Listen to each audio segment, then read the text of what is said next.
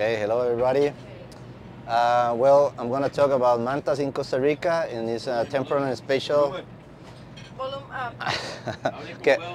I'm going to talk about mantas in Costa Rica, so temporal and spatial movements of Mobula birostris in Pacific Costa Rica.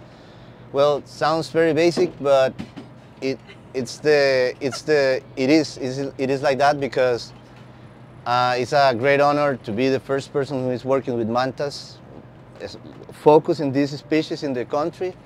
And uh, when I started with this in 2018, it was like any question that you have about mantas in Costa Rica, it was valid. Where, uh, where they came from, how long they stay in Costa Rica, why they come to Costa Rica, uh, what they do when they left, uh, when they leave Costa Rica. So all those questions were like, I don't know, I don't know, I don't know. So um, just to mention, I started with Pretoma in 2011. That's the first time I saw mantas in Cabo Blanco. Then I started this uh, initiative for mantas. Well, it doesn't work. But then I started working in Crema in 2018, and we started with, with this campaign. It was a campaign in that moment. It was called Monitoreo Nacional de Mantas.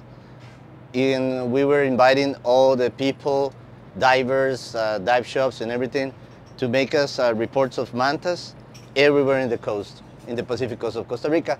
2021, I started with Mantas Costa Rica, which is uh, thanks to Crema. Now it's uh, an NGO. Uh, an ex-girlfriend makes me this uh, logo. We change it. So uh, yeah, we, we changed it. so as you know, mantas are in danger, which means 70% of the population um, it's uh, decrease in the last decline, excuse me, in the, in the last 10 years. But in Costa Rica, all the time we talk about manta season. And everybody talks about, yeah, mantas come to Costa Rica for a season. It's a season of mantas. So, and the people talk about mantas are in Costa Rica between December to May. But I was saying like, it is a, a real manta season in the country. That's another question. So basically, the last, last year was the best year we have with mantas and reports of people. And this is a report in July in uh, up north in, in Bat Islands, which is a national park. So, and then we have another report of mantas, August 12th. Another two reports in September 11, uh, September uh, 17th, last year. Well, yeah, this guy was very excited. I'm so sorry. I, I thought it was in mute. I'm so sorry. And then we have another report in November 6th. So uh, in some parts of the country we have mantas year around, and especially up north. So and then we start with mantas. We start uh, acoustic monitoring in Cabo Blanco in 2018. But I was thinking, and then I says, okay, we need to monitor a little bit more. So now we have, well, we have uh, eight uh, receivers in Cocos, one in Bat, Islands, Catalinas one. We have uh, four uh, receivers here and one receiver in Caño. So now we are basically covering uh, the hotspots of mantas in Costa Rica, well, at least the, the ones we know. So we are covering all these places. And, uh, and uh, with this, now we have 47 mantas already tagged between 2018 to 2024.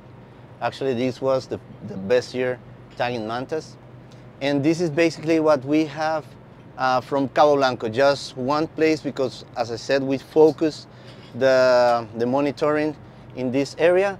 So as you can see, the activity is concentrated in the, in the day, uh, date hours and happens with the same, this is months and number of detections and the detections are concentrated in between February to, to May, to the beginning of May. So uh, we compare, I get uh, data from uh, Bat Islands, and it's almost the same, like, like in Cabo Blanco, I compare this with, with Cabo Blanco, and the activity is concentrated in the, in, the, in, the, in the days of the hour, which is like 11 to 4 p.m. But in 2021, in April 2021, I tagged this manta in Cabo Blanco. Unfortunately, I, I can uh, I can uh, see the, the sex of the animal, but I tagged this, this animal and six months later, these animals show up in, in Cocos Island. So this is now one of the best uh, detections we have. This manta makes around four, 500 kilometers from the coast. So this is very important, especially if we have this behavior with the rest of the animals, because now we can uh, we can uh, this we can use this information for management because we have a lot of transit of boats and and fisheries here in this area. So it's gonna be very interesting if we have this behavior with another animals that we already tagged. And uh, of course, we are using photo ID. This is one of the most uh, famous mantas in Cabo Blanco area. We call it Mickey Mouse, as, you- as, as you can see. Mickey Mouse, yes. Yo he visto a Mickey Mouse en Catalinas. Ah, nice, nice. Yo tengo ahí un video de Mickey Mouse. Buenísimo, buenísimo. There is another Mickey Mouse. We call it Mini Mickey Mouse. Could be the Mini, could be Mickey Mouse. I don't know. But this is the thing because we have only we only report this manta, and as you can see, it's very very easy to identify this manta, but only have reports of this manta in Cabo Blanco. So well, let's talk TikTok. Let's talk. All right. Uh, and we have all these. uh, huge campaign, as I said, with uh, with dive centers and uh, well, people in general. Also, we have this uh, WhatsApp group with WhatsApp chat, and we get in, involved many many people. Now we are trying to work with more and more and more people, and uh, and we send this by we use uh, Instagram, and we send this uh, kind of information to the people. How is the behavior with mantas? We talk about the, the largest population of mantas that we already know, which is in Ecuador. I'm collaborating with this project too in, in, in Isla de la Plata with Michel Guerrero.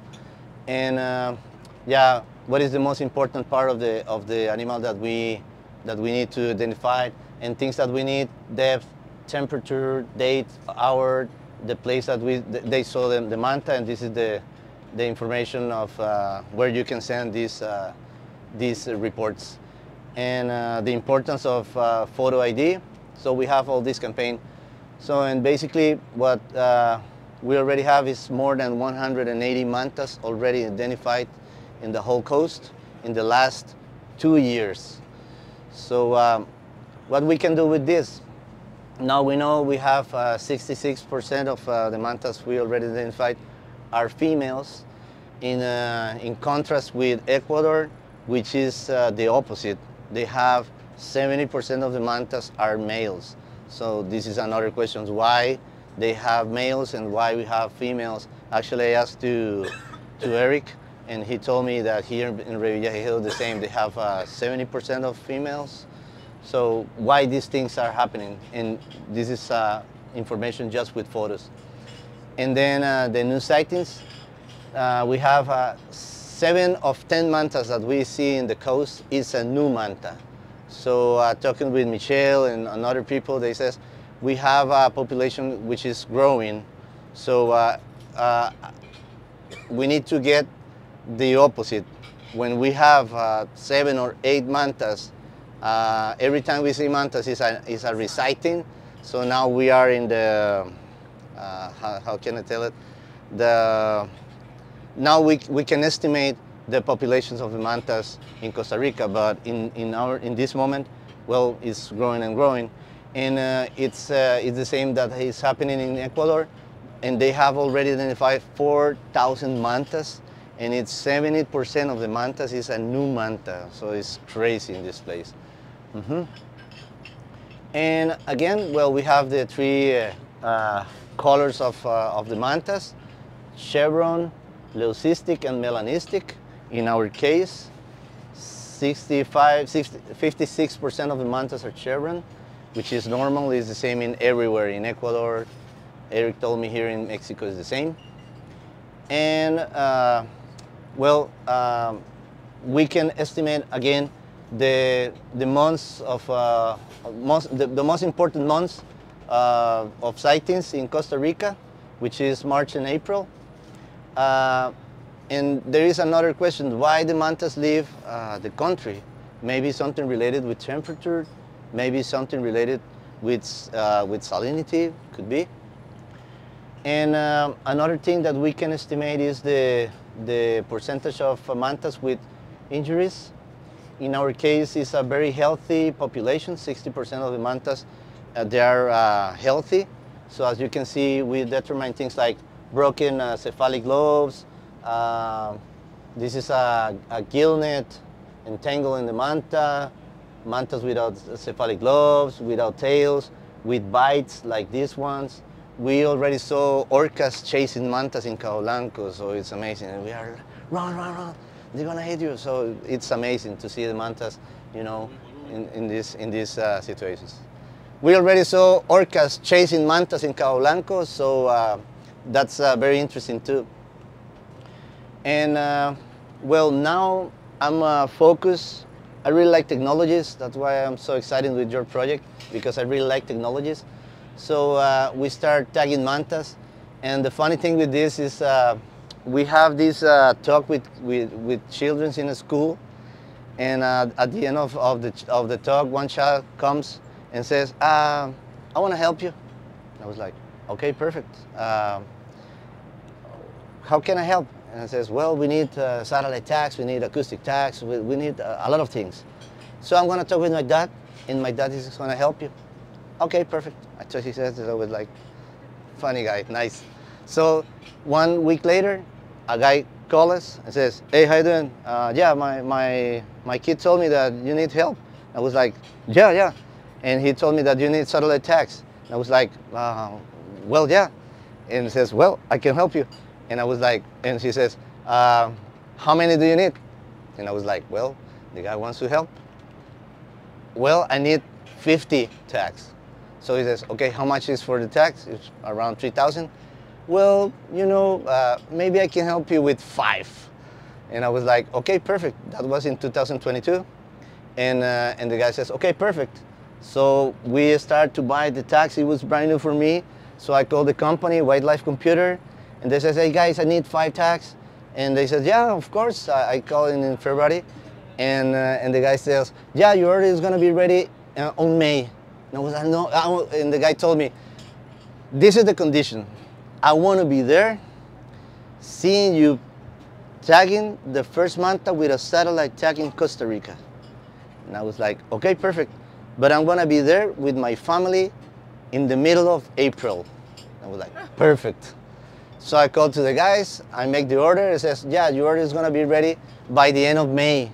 And I was like, no, that's impossible, I need it on April.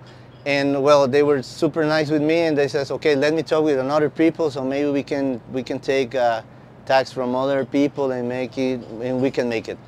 So we did it and uh, we can tag uh, the first manta with this family. And again, we were diving two days before. The conditions like here, blue water, everything perfect, mantas. So it was Friday.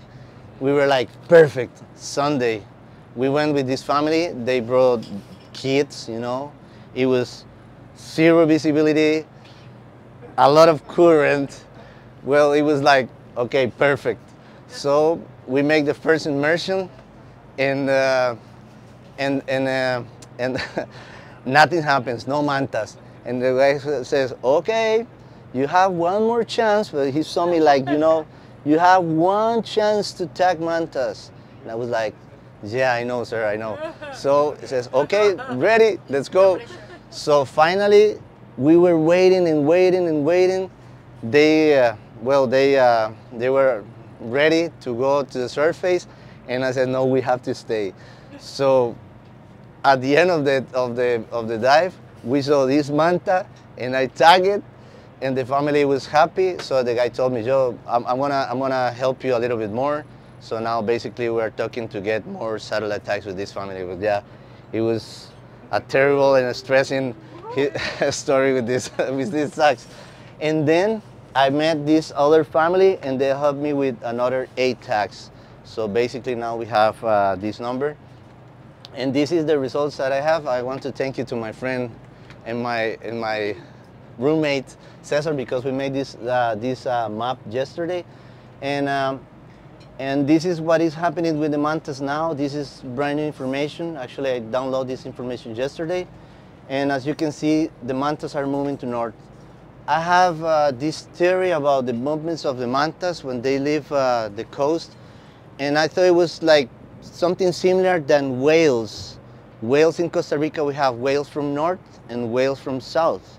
So and we are in the middle of these two important places, right? Mexico and Isla la Plata and Galapagos. So and I was thinking that maybe we were sharing these two populations in Costa Rica or at least at least close to Central America. But well, I checked this manta. This is the south part of Costa Rica. I checked this manta, and she moves up north. And uh, the other ones up north, they are moving the same, and they are moving close to the platform. So maybe they are feeding in this in this area, which is close to to the dome, uh, el domo térmico, thermic dome. So this is another map of uh, dissolved uh, oxygen in the water. So as you can see, the mantas are looking for this uh, uh, oxygen, well, with, the, with more concentration of oxygen areas. Like the, we, I, was talking with, with Cesar and he told me that hammerheads are doing the same. So maybe they, they prefer to stay in these, uh, in these areas. And this is happening between May to December when they, uh, when they leave the, the coast of Costa Rica. And uh, I have another theory, as I said, with temperature, but also with salinity, because we have a very, very strong rainy season in Costa Rica between May to December. So when, as soon as, as soon as start uh, rains in Costa Rica, we, well, mantas disappear. So maybe uh, I was thinking that maybe it's related with salinity. And as you can see here, this is the, the places with, a with the highest uh, concentration of, of salinity here in, this, uh, in these months too. So maybe it's uh, a relation with these two. Maybe it's, it's one of the most important factors uh, with the mantas. So uh, yeah, it's very short. And what's, what's next now in, in our study? We want to see another things because, well, Andres is telling that, but most of the time when we get information from Cabo Blanco, which is, which is located here in the middle of the Pacific coast of Costa Rica, uh, no reports in, in the other places. And the mantas that we already identified here, uh, we never see them in these areas. And also when we saw mantas in, in Caño, there is uh, only one manta moves to Caño, only one manta moves to Catalinas, and the one that I showed to, to, to, Coco, to Coco Islands. And it's 47 tags. So and the mantas stay in this area. So maybe I believe it's a, a, a site fidelity so I want to, to prove this. I want to tag more mantas. Now I already tagged 47 mantas here. I want to concentrate in these two areas to see what's going on with the connectivity of the mantas. Uh, well, the, the migration patterns with satellite tags and focus well in, in other areas like south and north. And this is the map of these uh, tags. Here, I tagged this manta up north and she was around Bat Islands all the time. And then uh, this manta decided to move to the platform and continue the, the trip up north.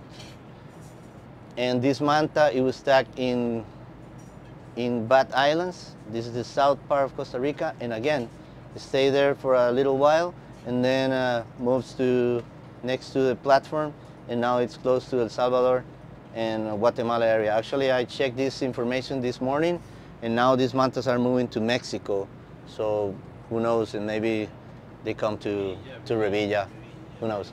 So, and, and this is another uh, manta that I tagged in 2022, Mickey Mouse. And uh, to see, I, I, I tagged this manta in the middle of the season to see what, what, uh, what, what's going on with this manta, what they're gonna do and she stays close to Cabo Blanco and then move a little bit to the platform. And uh, with the movements, the movements, I, I thought this manta is to move to to south. Well,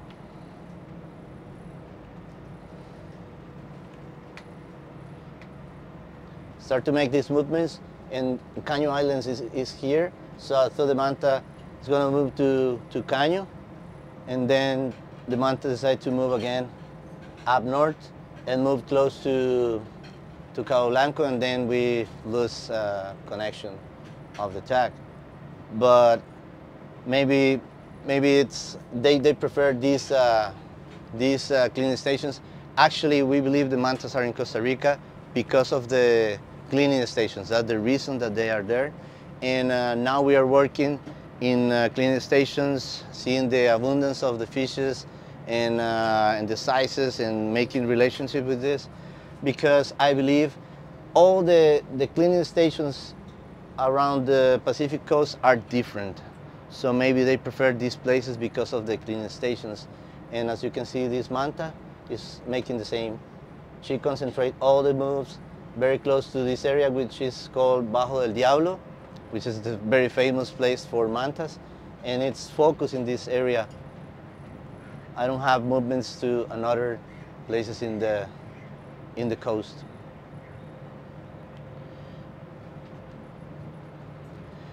And uh, I want to, well, I, I took this from a Migramar uh, website, but I want to generate a, a, ma- a, map like this to understand the mantas populations in the Eastern Tropical Pacific. And also I'm looking for a PhD now, and uh, I want to make a genetic analysis, analysis with mantas, with tissues. I already talked with Mauricio to get access for the tissues here in Mexico. And uh, well, I have in Costa Rica now a lot of uh, tissue samples. In uh, Ecuador, I'm working with Michel, so we are getting a lot of tissue samples there. And I talked with Diana uh, Pazmiño in, in, in uh, Galapagos to get access to these uh, tissues. And my idea is try to relate this because they already make this analysis with these two uh, populations of mantas. And Galapagos is a separate uh, manta population. It's uh, shared with the mantas in the coast, but it's like 50% of this population is shared with Galapagos. The other 50%, they don't know where these mantas came from. So maybe they are connected with mantas in Costa Rica or Colombia, Panama, because we have a lot of movements of mantas here. Um, and this is the idea, try to correlate these, uh, these, uh, these populations in the Eastern Tropical Pacific. And uh, last year I was invited to an expedition in Ecuador. So and uh, it was something like this. It was people from Mexico, Peru, Costa Rica, Colombia, Ecuador. And uh, I organized this uh, meeting with, with these uh, researchers and I said, guys, we have to collaborate and work together to see what's going on with mantas. So we make this uh, first uh, meeting with these guys. And well, this is the expedition. And the idea is try to create something like ICAPO, like Migramar, and things like that with the Eastern Tropical Pacific Manta Network. So we are working now with this. I'm trying to organize all these guys, but it's very, it's very complicated, you know, try to get the people together. Yeah. so we are trying to make this uh, Manta Network because we share experiences and the people here in Mexico, they have narco traffic, uh, well, a lot of problems with fisheries. Mantas are uh, a fisheries subject, so it's different in Costa Rica, it's different situations in, in Ecuador. So maybe if we work all together, maybe we can try to change this situation in the, in the region. And well, this is our sponsors. These two families, they don't want to, they don't let me to show who's the people who's giving me the money. And uh, stakeholders, I have a lot of uh, dive centers and people who is helping. And you can follow us in social media. And thank you, um, Pelagios and Ocean Blue Tree for this opportunity to be here. And thanks.